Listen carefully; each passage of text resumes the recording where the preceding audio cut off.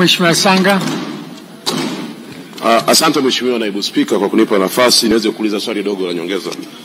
Uh, hivi karibuni serikali imetangaza ajira mpya na katika ajira mpya alizozitangaza uh, kuna Watanzania wa, wa, wa, wa ambao walihitimu miaka ya nyuma, lakini pili kuna wale ambao walikuwa wanajitolea kwenye serikali yetu kufanya kazi lakini wamekosa ajira. Je, ni mfumo upi umetumika kuajiri mtu wa mwaka 2021 ukamwacha mwaka 2015 ambaye a, alikuwa anategemea kupata ajira? Asante. Mheshimiwa Waziri. Mheshimiwa Naibu Spika, naomba kujibu swali la nyongeza la Mheshimiwa Festo Tuntemeke Sanga mbunge wa Makete kama ifuatavyo.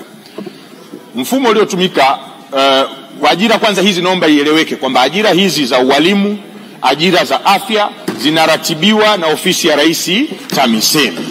Nikisema kwamba utumishi, tumetoa vibali tu vya kuweza kutoa ajira zile.